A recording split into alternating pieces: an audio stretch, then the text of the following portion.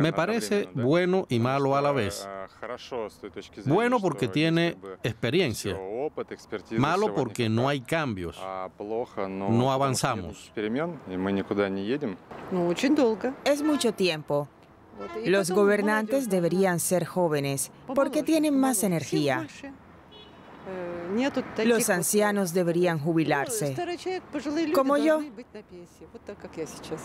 La situación en el país es tensa. Me da miedo hablar de política. No existe tradición en Rusia de renuncia voluntaria al poder. Durante varios cientos de años, los zares gobernaron hasta morir. La tradición se mantiene.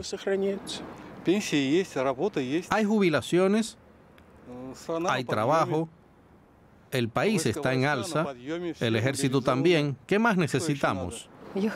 Putin me gusta bastante. Creo que la estabilidad es importante y ahora no veo que haya ningún sustituto idóneo.